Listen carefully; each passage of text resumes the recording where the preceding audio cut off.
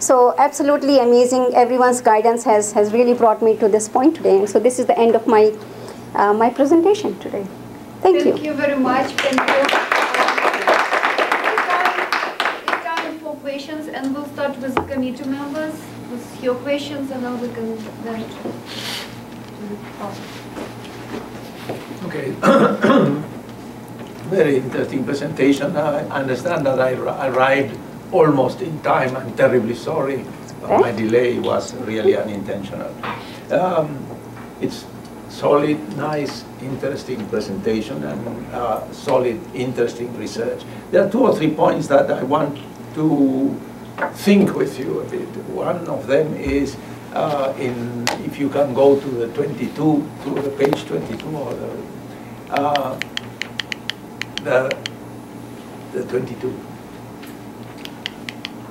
That is the damn if you do and damn if you don't of this situation. Um, and uh, uh, the effect of demanding return may be uh, losing of voice and losing of uh, project to the future. The, uh, uh, the opposite position, namely that you cannot return, you should stay, uh, creates an instruction of like cutting the past.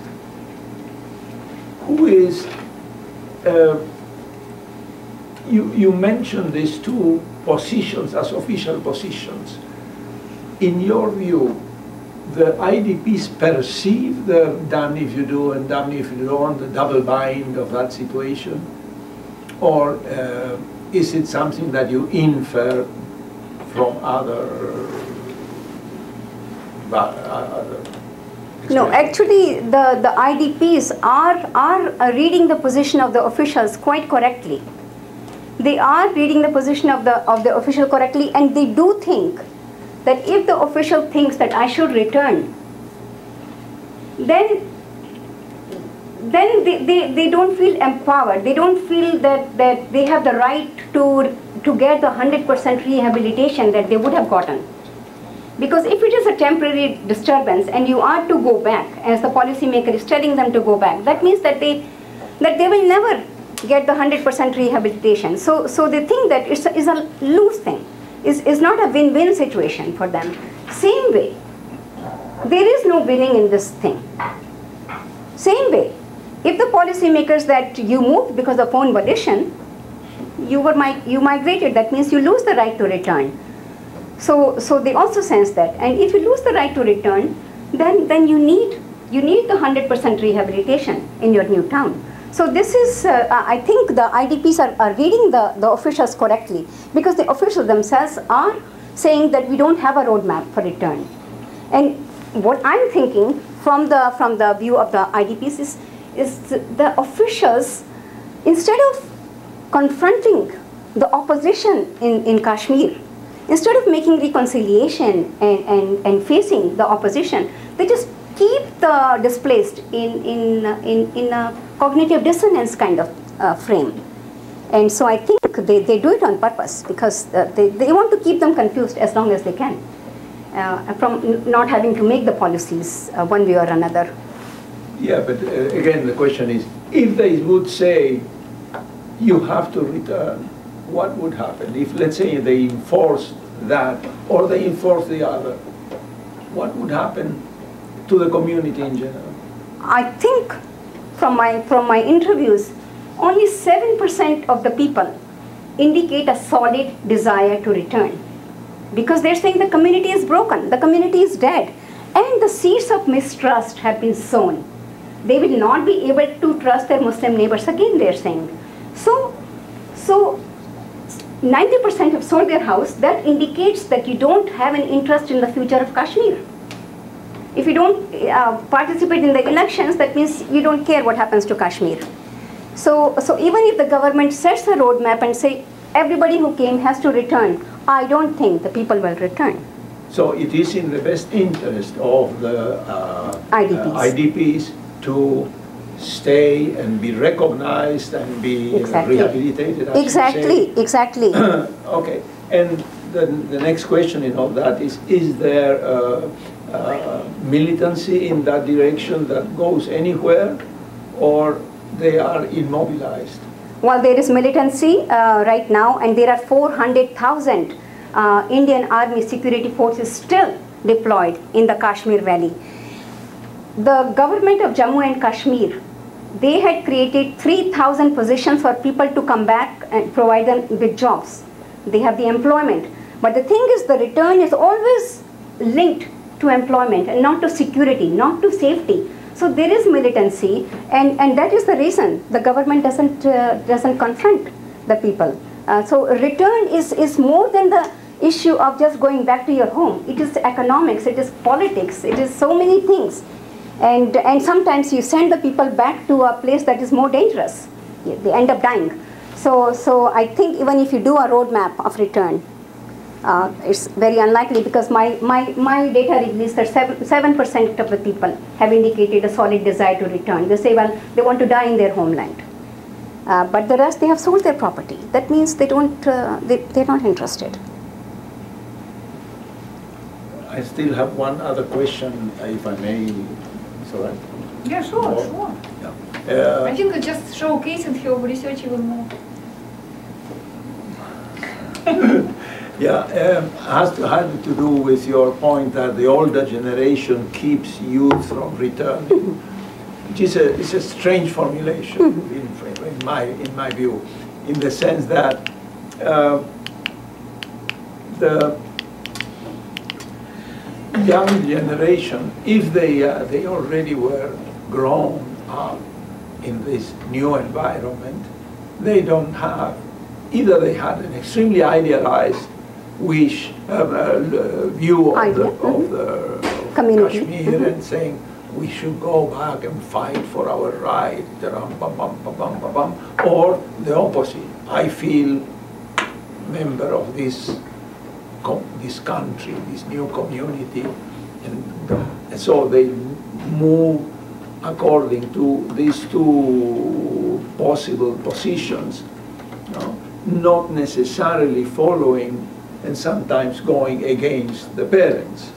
That is true. That is true. you know. So uh, the, it is not the old generation that keeps youth from returning, but it is a much more complex set of variables. Much more complex set of variables and I think the economic opportunities also play a role uh, in addition to the stories that people have heard from their relatives. I asked one person, I said, would you like to go back to Kashmir? And he said, no, no, never. So I said, so you were in Kashmir before? He said, no, I've never been to Kashmir, but my auntie told me that, uh, you know, we, we should not, uh, we don't belong there. So, uh, so, um, so yes, is is uh, I uh, maybe uh, I have to qualify that statement. That is not hundred percent of the time. Uh, so we are looking at it at uh, protracted displacement, and people have been exposed to to new environment, and that is a factor. Absolutely, that is a factor. So I, I can qualify that uh, uh, finding. Thank you. Uh, do you have any questions? Do you want to verify this mobi- mobilization question? Do you want to verify this mobilization question, the question number two? Do you, do you want to verify it? Verified. Yeah. To get more information on mobilization. Oh, no, no, no, I'm just, uh, Okay. I'm satisfied with the conversation. Okay, thank you very much. Thank you. Uh, Dr. Ravi. So Sinha, I'd like to congratulate you. You may be the first of your cohort. Um, You were um, incredibly well, well organized. And I have never seen a more dogged student at getting people to talk to her, including people in very high offices. And if Professor Sluzki is to thank for that, then hats off Absolutely. to- Thank you. Thank you so hats much. off to uh, Thank you. Carlos also. Um, So I, I, I think that some of your findings are very interesting. Uh, The generational one, which also I have some questions about, because it seems counter counterintuitive. But I really especially like the finding that so often IDPs are treated as subjects, subject to mm-hmm. authority, subject to events, subject to things completely out of their control. And yet when you talk about the IDPs really reading the, the ambiguous and contradictory rhetoric of the authorities and using that as leverage against the authorities, I think it shows the IDPs as being a, agentic, as being agents in a way that very, very often uh, other studies don't. They treat them as, Mhm. as victims and as subjects. So that, that's something that I think probably deserves an article in and of Okay. itself as you come out of the, out of the larger work. Um, Let me, I, I have a few questions. Let me just continue for a moment on the generational uh, track that, that Carlos started. Um, If you or someone else were to go back to the third generation, the grandchildren of some of the elders, do you still think it would make sense to speak of that group as IDPs? Other words, at, at one point, at what point does the very identity of IDP, if, if ever, get lost or get so weakened that Mhm. it's, you know, someone claiming they're related to a Cherokee princess? Mhm. Very interesting. Very interesting. And I think it has to do with how the international community, basically the United Nations, defines IDPs and where does it end? Where do you end becoming an IDP? That is, that is what you're asking. Mhm. Absolutely. And uh,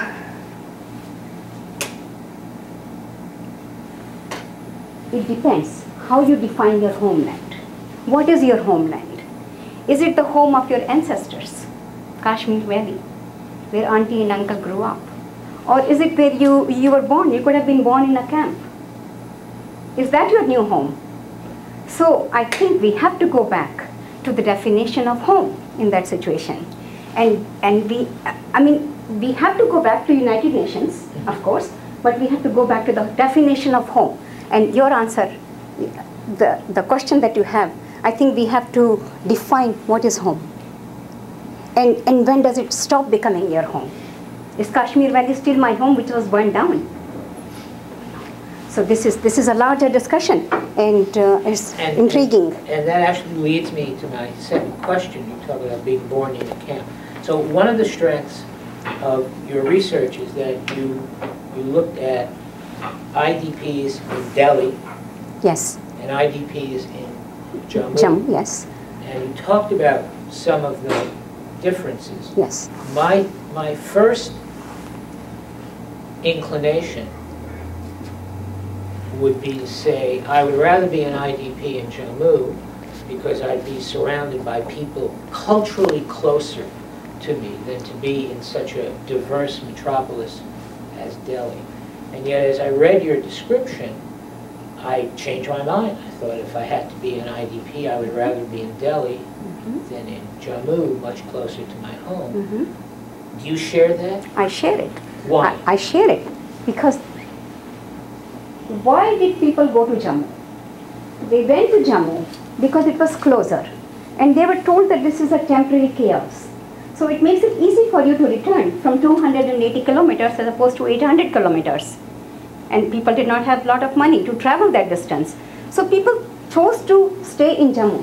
What has happened in Jammu? The policy that have that have that were meant to protect these IDPs have actually separated them from the larger community. We have settlements, uh, seven-story apartment building to house the IDPs. 2,500 IDPs stay in one building where I also shared a place with the with the host the IDP family. What it has done, it has isolated them. It has it has not only kept them away from intermingling with the with the they have no desire because because their group provides them with the with the belonging and, and the, the recognition. So they don't travel to jammu. I asked them how how will i get to the commissioner's office? They said we don't know. We, we have never taken a bus. So uh, whereas in, in, in delhi they are spread all over the place. Where you have opportunity to interact with the society where you have been given the chances are that, that you will take that opportunity and, and you will eliminate the stereotypes. Uh, now in, in Jammu, we, we have a stronger parallel society of the of the these Kashmiri Pandits who came from Jammu and the local Dogras who, who stay there. So they look at them as I was really surprised that they look at them as people who are diluting their culture. And I'm saying that they're all Indian Hindus. Who is diluting whose culture? Don't understand. It's only when people told me that oh, because intermixed marriages and are so many things, culture of corruption, people are double dipping into compensation, and our society was not like this before, and so on. So I'm thinking that even within Jammu, where they're staying with 2,500 people, they still are isolated because they're in apartments. So, uh, so uh, what you are saying is that yes, in Delhi, culture is different but they have acquired a little different identity by, by, by doing what they thought is best for this society, going to the kind of schools that the host family goes to. And so they, they feel that they are better off, although they are removed thousands of kilometers from the culture, but, uh, but it has uh, exposed them to different things. So I would have uh, hypothesized in answer to my previous question that the IDP identity generations down is likely to have faded in Delhi long before it fades. I believe so. I believe so. Yes, it's, it's going to happen. It's going to happen. And you know, that's why the people are saying that the intercaste marriages are posing a problem. This, this was, was to my surprise. People are saying this is most problematic thing that has happened ever since the Jammu people, the Kashmiri people came. Because, uh, and, the, and the Kashmiri people, they are feeling the same thing. That Because when you have a small community, you, you want to maintain the cohesiveness and you, you want to do everything and they think of intercaste marriages as an bringing extinction of this little community. So it's a threat. It's a threat. So both communities are feel, feeling that uh, this is this is not right. Yes, People actually, have, uh, actually that, that was my last question. It brings out the anthropologist in me 100%, which is when you talked about the, the intercaste marriages, which is more of a problem in Delhi, I presume, or in Jammu, they're, they're more isolated in Jammu. And then my question is really an empirical one. Are these intercaste marriages or inter-jati marriages that are more or less sideways, up, down? How are they marrying? How are the Pandits They, they are marrying uh, down. Yeah. They are marrying down. Which must and be that's why upsetting. that's why it is so problematic for the Kashmiris even. That why should we are Pandit and why should my son find a, find someone from the local community? I mean, we, we are the topmost hierarchy. I, So I, I'd this- like to remind the non-Indians that the word pundit comes from pandit, so these are people who think a lot. Knowledge, wisdom, yes, they're, they're the topmost uh, hierarchy. So yes, they're, they're marrying down, and that, that's what's troubling. And that, Uh, that, again, and you did mention it, and, and it's part of, I think, the very comprehensive work you, you've done. But that's something in particular, if you're going to um, uh, zero down on social identity issues in Hindu India, it's hard to imagine a more uh, important core than inter-jati, inter-caste. Intercaste marriages, yes. Yeah. Mm-hmm, mm-hmm. This, this, this uh, issue grabbed me, Yeah. uh, grabbed me. Me Uh, too. that, uh, Okay, um, thank you, Professor Avruch. I also look a group of questions and probably related, not surprisingly, to identity issues. And um, I will start with your own personal identity because you also related to the culture. What challenges did you uh, see, did you found for yourself as being from embedded in this culture? And how did you overcome these challenges? Because you probably had some biases, something. Well, um, well, knowing the culture and the values of these people that I was going to interview, I knew that I am dealing with a society that is very proud of their identity. So I knew, knowing my culture, that what displacement might have done to this society. So when I approached these people, I was kind of aware of the sensitivities that these people, it is possible that these people will shun me out of my interview process. They, they shut their door on me, as, as some, some did.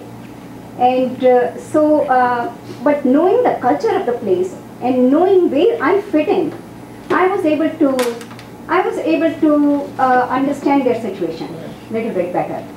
Uh, and, and this cultural sensitivity not only helped me to deal with the IDPs and the host, but the officials too, because I know the culture of these people.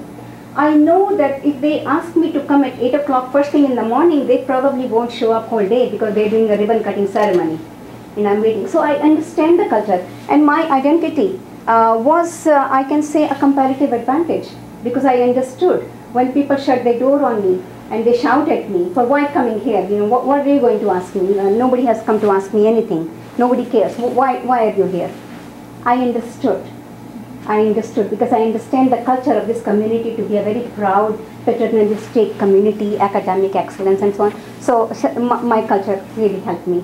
a bit. That was my advantage there. But if you speak about challenges, did you find that you feel more empathy for one group and less to another one? Or you had some biases which were put in you before? Well, I did start my study with a bias, uh, with a bias that uh, this community has suffered in the hands of militancy. And this community, um, quarter of a million people, this is how I started my research. And this was my bias that this community was, uh, uh was culturally deprived and, and, uh, and was uh, evicted. And so this is how I started. But because I did an exploratory study, I was willing to challenge my assumption. And I said, well, this is open I, I will talk to the office, uh, official and I will talk to the family and I'll, uh, and I'll uh, do the linking with the subjective data that I found in the policy documents with what people are telling me. So I wanted to link. And this was, this was it because I began like that. And, and yes, I had a lot of challenges. My challenge was in, in working with the bereaving families. Sometimes I really wanted to side with them when they talk uh, of the officials down the, they haven't done anything, the government, you know, they, they I wanted to say, yeah, I know, I understand, but no. So, so I knew that, and this was my challenge, don't play the counselor. That, that's, I was tempted, because I, I wanted to indicate that I understand their situation, but we have to move along my questionnaire. So this was my challenge, because the, the families, they can take one and a half hour, because they invite you to, to their home. They open the fan for you, and, and they bring a glass of water for you, and they think that you will be there uh, for dinner. So this is a challenge to, to, uh, to and, and, that's where the semi-structured interviews helped me because they kept me on track. Even the officials who say, ma'am, uh, it's not worth your time to explore the issues of Kashmir because everything has been resolved. So it's not worth your time. Everything is settled. So even they, they dismiss the question, but you have to bring them back on track. And this was my challenge in dealing with the people, but, but because I know the culture, of the officials as well as the people who are suffering, I was able to negotiate and handle, and I was able to handle rejection. I was expecting rejection from many, but I knew how to handle it. Oh, thank you. Uh, my second question concerns relative deprivation, which you put one of the major leading theories in your analysis. Yes. And you, in your presentation today, you covered the relative deprivation based on intergroup comparison. But what about this temporal relative deprivation? Because it directly connects with the questions which were asked by other two members of the committee. How temporal deprivation, relative deprivation works for different generations? Do you think it's for like third generation, it's less important, or because you believe that there are very cultural, strong cultural influence of older generation on the younger ones, they still experience temporal deprivation with their within community? Well, I think as the families told me that the seeds of mistrust have been sown and that will make it hard for them to return. So I think when the seeds have been sown, they are not only going to impact the people who are affected by the situation, but many generations. And this relative deprivation will occur probably a few generations down. Even the, even the people who are studying Kashmir studies that they are in the University of Delhi, even they are saying that I don't really have a desire to go to Kashmir. Neither does my son. We don't speak the language. There's nothing for us. We have made a home here. So, so, uh, so this thing will, will stay with them, and, and they feel uh, that it's going to affect them. So they do social comparisons. They, they don't feel that they belong there anymore. So, uh, so this, this thing is going to pass on um, for some time. For some time. Okay, thank you. And my last question is, um, you told that you compared uh, impact of uh, policy assessment of other perceptions, how people see community, how they see themselves. Uh, what did you find the most interesting? And I also know that you will comparing not only policy assessment but also uh, desire to return as one of the factors which can impact perception of the whole situation. What do you find the most important factors? Policy assessment or the desire to return? What was the most influential how they see situation now? Policy assessment is very interesting for this community. Even if you assess policies as beneficial, which some communities did, I wanted to go a step further to see what else are they saying for my other questions on their return. How does that assessment of policy become a contributing factor to something down the line, for example, their social dynamic? What I found is that the people who assess the policies as beneficial, let's take one policy, salary protection of the people. The people who were displaced, the government had protected, if they were doing a government job, when they were displaced, the government, Indian government protected their salary. What this policy, and so they evaluate the policies as beneficial. They think that policies are beneficial. When I look at how they interact with the host community, these same people, this cluster of people, I have formed five clusters of the, of the people who have uh, assessed policies one way. So I have a complete profile of what you think about other dimensions of, of displacement.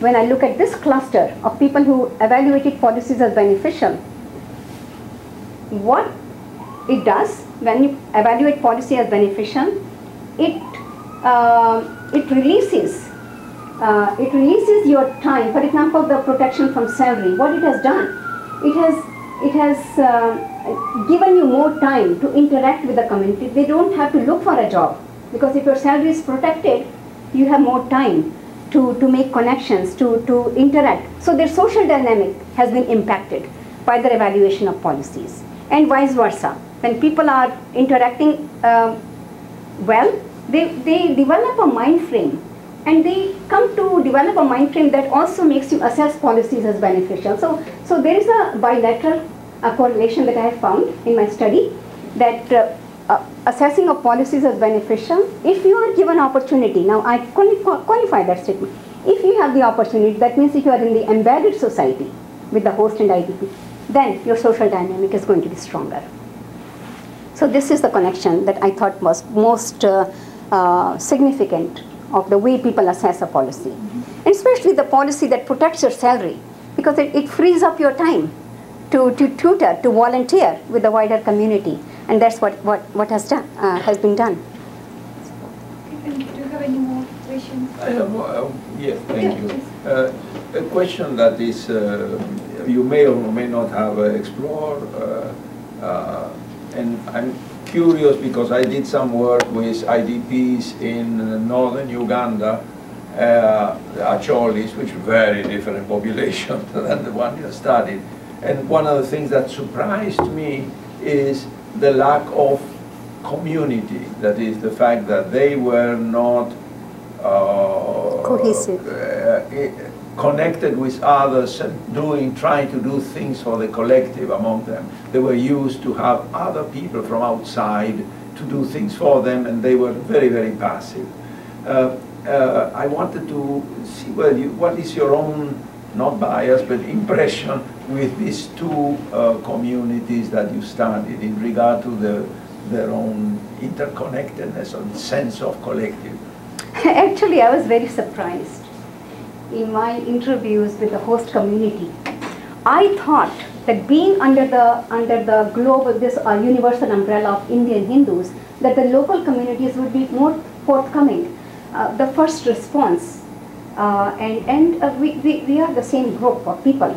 But when the uh, host community told me they we didn't really have much to do with the with these people who came, because they had their own NGOs who took care of them. So we didn't really have anything to do with them and uh, we didn't really influence any policy. But at the same time, they are telling me that we did approach our leaders to evict them because we were not able to use our resources, our community wedding hall, because it's, to house the, house the IDPs. So although they don't talk directly, they don't bother the IDPs directly, but they approach their leader. So, uh, so I was surprised that uh, um, we still have parallel society of IDPs and hosts, and I was surprised of the of the of uh, uh, very little uh, connection between the host and IDP. between, we, and within, within the IDPs, uh, and in the two, co- in the two communities, which was really my question. Your sense is that they have a sense of collective and they have uh, one for, uh, one for you, and one for all, and all for one, etc., etc., et or that they are dispersed and each, and each one his own? IDPs, you mean the, the mentality of the, IDP as a cohesive group? In the, in the two groups. IDPs are very divided. They are very divided. They are very fragmented. They are very fragmented in many ways. Um, uh, first, you know, the policy is different for both groups in Jammu and, and in Delhi. One has been given free accommodations and one has been given subsidized where you have to pay and take a loan from the Delhi government to, to rent the property and so on. So, so I think what the policy has done is actually have fragmented these two communities. And even within them, on the issue of return, people are fragmented. They, either they, they want to go back uh, and uh, or they say that we have lost our right to, for, for our homeland and this, this was an esteemed place for birth as well as death. The government has denied us of my right to die in my land. So, uh, and then there are people who say, well, I, I just cannot position myself to go back to this humiliating place. I just cannot trust them. So there is, there is a divergence of, of the views and also in the two, two groups. Uh, in Jammu, 100% of the people, they don't want to go back. In Delhi, 40%. They told me that they want to go back, but only 7% said, we will go back without shoes tomorrow. Uh, but only 40% are telling me that we will go back provided we get a separate homeland conditions. So uh, the community is divided. A community is divided, in, and the policy context has a lot to do because the policy of keeping them in settlements versus in the outskirts has influenced their decision to return, which is the key decision in the displacement community.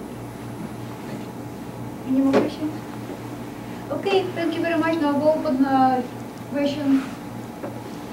Uh, Hello, so thank you so much for this, uh, for this very interesting Thank uh, you. presentation. Actually, the, the question I have is very much related to, uh, to Dr. Sluzki's comments, so I'm going to piggyback on, on, on that. Uh, Maybe it's a basic question, but I'm not very familiar with the context. So do, you- have these people been granted political rights?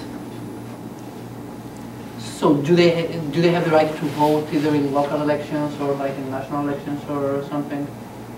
Well, they are residents of Jammu and Kashmir, which is a separate state, which is a state within the sovereign India. They have a right to vote in Jammu and Kashmir elections, Mm. but not in the elections of Delhi government. So they can't form political parties to advocate for, for themselves? No, they, they have NGOs who are fighting for separate homeland and, but, but no political party. But the fact is, being away from your home, you have lost a lot of, a lot of rights, participation. I mean, if you're not there and the, and the, and the survey person comes and knocks at your door ten times and you don't answer because you're not there, you are taken off the register of voters. So you lose that right to vote. So there are issues like that. So yeah, they, they are no, they haven't formed a political party, but uh, um, So the only way to advocate for themselves is through the NGOs? through the NGOs, through the NGOs, and, and NGOs have proliferated since the uh, since the advent of this displacement. So uh, the NGOs actually have done quite a bit as far as you know. There, there has been evolution in the housing. They started with the makeshift tents, and now they are in the apartment. And they say that it was the work of the NGOs uh, that really moved us from you know one tiny room to building now. Uh, so uh, yeah, through the NGOs are, are the face, are the, are the voice of the people. They have gone up to the Supreme Court. NGOs, uh, the umbrella organization called the All India Kashmiri Samaj, they went to the Supreme Court in Delhi to, to fight for the labeling of these people. They say that uh, these people are not migrants you have to call them IDPs because as IDPs they have different rights. So they, they are fighting on the behalf of the Kashmiri Pandits. So, so NGOs, yeah, All India, this uh, umbrella organization does uh, represent them. The related question I have is that you said that in New Delhi, uh, IP populations are dispersed, whereas in Jammu they are concentrated, Concentrated in one into, region. So I don't know, I mean, I don't know whether you noticed the difference, but was there any difference between how active these people were uh, in terms of uh, how they advocate for themselves in Jammu, where they live all together, vis-a-vis, uh, sorry, uh, as opposed to, um, to New Delhi, where they are dispersed? In Delhi, yeah, they are dispersed. They're all over the place in Delhi. In the mainstream, some of them are in the mainstream, but some of them are still in the camps, which which are their own group. So, um, and they they are all advocating through their own NGOs. But as far as uh, people in Jammu are concerned, because they are now living in the separate community, which is called a mini township, which is really meant to protect them from the valley distance, you know. So it's like a mini township, uh, army-controlled area.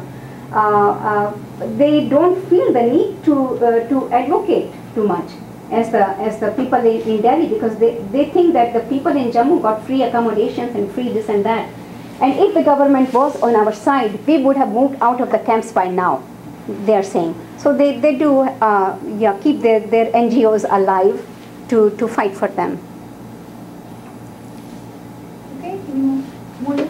Uh, Congratulations, thank you. It's a very interesting presentation, very Oh, you. interesting discussion. I was hoping you might be able to um, talk a little bit more about the reaction of the host community, sort of going off of some of the questions that uh, Professor Korostelina and Professor Avruch have talked about. Um, I was really intrigued by your term of houselessness Mhm. and that um, and the relative deprivation and perceptions of the host communities, you've noted, given that so many of the IDPs and the Kashmiri Pandits who are not interested in going back, and the division of the policies of that are being played at the policy level, what is the host community side on all of this in the sense of um, how are they viewing the others as if they are going to be um, permanent, that they're no longer migrants per se, but they are IDPs, but they are going to be permanent IDPs. Um, they are concerned about, you're saying, about the intermarriages and, and concerns like that. What are the kinds of concerns that the host communities having about these other communities for long-term situations? And what are the conflicts that are arising currently? And if the IDPs attain permanent status in those communities, what kinds of conflicts do you see arising between the host community and the IDP uh, newer community coming in? Well, this has to do with the position that the officials have placed this. They, they, if they call it as migration. Migration means you are here to stay. That you are not forced out, it's not a temporary disturbance and people, migration means you, you of own, own volition sought new opportunities. When the IDPs listen to that narrative of the policymaker, they have an immediate reaction and they say, well, if these are migrants, let's classify them as migrants. Let's make uh, the inclusion and exclusion, who can be included in our community services and who will be out. So as soon as you hear the word that you have a community of migrants, obviously you start this hierarchy of rules and regulations, what will govern, what kind of jobs they will get, what will be, what social services they are allowed to get in my community. Because I, my children, they have to pass the college entry exam to be entered into a good college. But the migrants, just because on the, based on the status of the migrant, they have been exempted from the college entrance and they get admitted. Why? Because they, they are migrants. So this is the kind of tension that, that occurs. If they're temporary, kick them out. If they're migrant, stop the policies. This is what's happening. Uh, one uh, family told me that um, they kicked us out of Delhi, Bapudham camp. And he's saying, the, the father, uh, he told me, he says, it's very ironic that they kicked us out and they told their political leader that because they, we want to kick them out because we, we can't use the wedding hall for our purpose because it's, it's housed by the IDPs. He's saying, Sudha, it's very ironic. This community hall we vacated 16 years ago and it's been locked up. It has never been used. There was no urgency. It was not warranted that, that they wanted to kick us out. Uh, The government, the Delhi government kicked them out, made settlements in the suburbs, and the hall has never been used. It's locked up. I went to see the hall, and the, uh, the uh, uh, the manager, he didn't open the hall for me. I said, uh, this, is this where people used to stay when they came to Delhi? He said, yes. I said, can I see the rooms? He said, no, no, no, we, we are keeping it locked up. I want to see what kind of room it is. But the, the room is not, the hall is not being used. So these are the tension, overcrowding. And as people say that, the host says that, you know, before these people came, we were a very peaceful community. We, uh, we don't cheat. We are very educated people. And these people, they have come and encroached on our rights. Uh, you know, they, they came and they, they, are uh, uh, really polluting. Uh, uh, and and they, they double dip in the compensation, which is not really good thing. Our children watch and, and it's not good. So this is what they're saying, uh, uh, that social tensions are there and they will continue. And that's why you have this uh, separation of community with the stereotypical images of the other, you know, suspecting the other of doing wrong. And that, that will continue until uh, uh, there is no, no winning situation here, you know. So. Which is my follow-up question, if I may, which is what kinds of policies or conflict resolution mechanisms are available for the host country in order to address some of these down the line?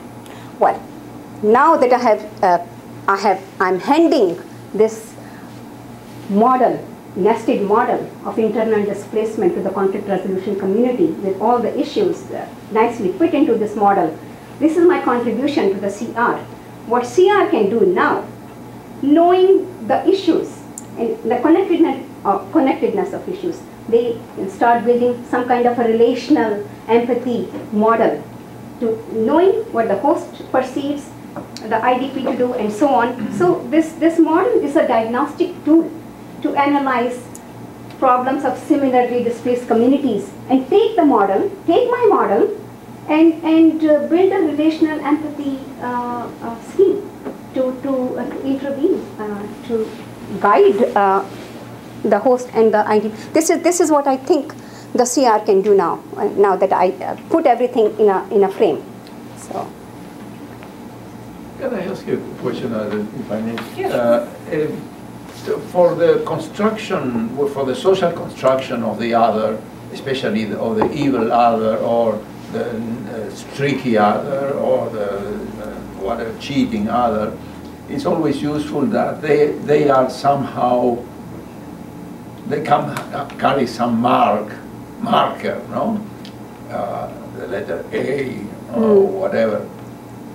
Uh, if I would be in the street in any of those places, could I differentiate people who are uh, originally from Kashmir and from the locals in any way?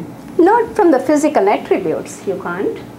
And clothing or Well, the accent People or? in Jammu, the people in, in Delhi, um, because they don't want to be targeted, they, they want to mix in. So they have adopted a, a, a hybrid of their dress style. You will see less people, few, fewer people wearing Kashmiri embroidered dresses with long earrings, which are a trademark of the married ladies in Kashmir. As soon as I interviewed uh, uh, one lady and, and came to learn that this is the hallmark, when another uh, visitor came to their house in the evening, I knew that she is also from Kashmir. And this is the hallmark. But, but people fear being targeted. And so they are losing their physical attributes as well as their preferences for things. When I, I, I went to uh, one family's home, they, they, their food looked just as, as it would in a, in a person who is a Delhi resident. They, they, there is no difference. Uh, their language may be a little bit different right now, but, but they are picking up uh, or, or maybe losing their, their language and culture. Uh, they, their practices have changed, they have modified, they have toned down their, their rituals that they used to do. Uh, uh, so uh, you, you can't really tell by walking on the street uh, that uh, you are a polluter or, or a, you are the one diluting my culture. Shocks.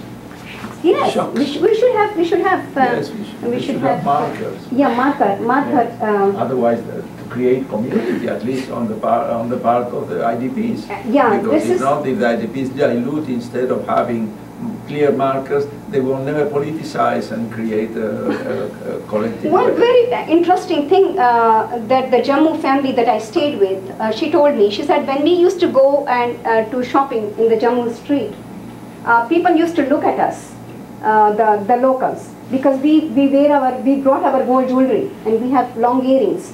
And they used to look at us and they became very jealous of us. First, we are fair people because we came from the mountains and these people are dark skinned. So they became very jealous and they became jealous of our gold jewelry. Uh, so, uh, so uh, the, the mother, she told me, but, but, but uh, we had to wear our jewelry because the government gave us very small apartment. It was not safe for me to leave my jewelry. So when we went in Jammu street, I had to dress up. I had to wear everything. But now, uh, but now I, I see her. She's not wearing the gold jewelry uh, because they have a two two bedroom apartment. So things are changing. Things are changing. I mean, it's not, I don't know if it's a good thing or because you are losing culture. You are losing a, a community. Uh, so. Um, yeah, we, uh, no markers, but uh, people are integrating this global community. Uh, Okay. Um, Committee member, do you want to make some analysis of the patients and the process, how she conducted research. And we came to decision that we now have new PhD.